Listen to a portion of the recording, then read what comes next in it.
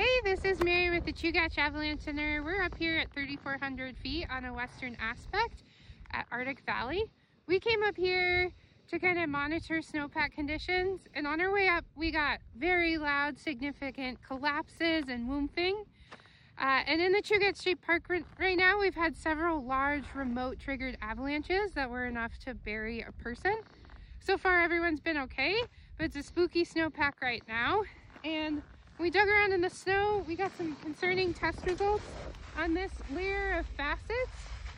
Uh, it's very weak, very sugary layer.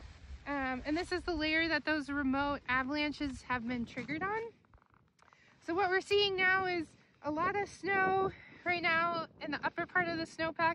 And we're about to get another really big major loading event on Thursday and Friday. So travel in avalanche terrain remains not recommended. So stay off 30 degree slopes and higher, stick to low angle slopes, and also make sure you're not connected to larger terrains with the fear and worry of remote triggers right now.